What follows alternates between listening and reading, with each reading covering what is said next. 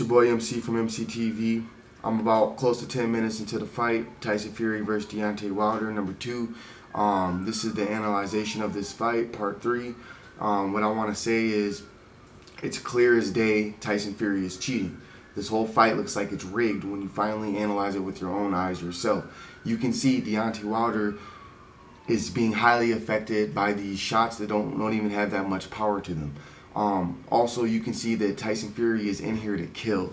It looks like they came up with a game plan to damn near kill Deontay Wilder. They wanted him dead.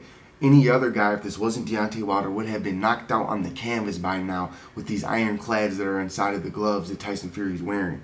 It is very, very obvious and evident that Deontay Wilder had multiple different things going on against him, orchestrated against him by others who wanted to see him dethroned and not be the champion anymore. It is clear as broad daylight, and I don't need to watch the rest of this fight because I watched this fight over five different times already. If I have to, for the sake of my fans, I'll give y'all a part four and a part five.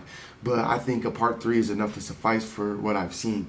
You need to watch this yourself. Tyson Fury cheated during this fight. It is more clear than day. It makes no sense whatsoever why, when, where, how, or what Deontay Wilder would be performing the way he's performing on this night, and for anyone to say Tyson Fury is a good boxer or was the better man. How is he the better man? He's not a good boxer. He has no power. He has no skill. He's cheated his entire life. And for you guys to say that and dismiss everything that you can clearly see in this fight, including all of the cheating, with the flapping gloves, landing with the palm, Deontay Wilder being clearly off and look like he's being drugged.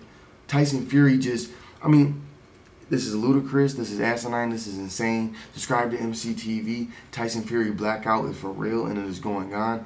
Uh, like this video and comment down below what you think about Tyson Fury cheating. I'll be back at y'all with another one if I have to. Uh, I want to report about more news, but um, just watch the Tyson Fury Deontay Wilder fight to slow it down a little bit and pause it yourself. You can see the wrinkles in the gloves. You can see you can see everything with your own eyes.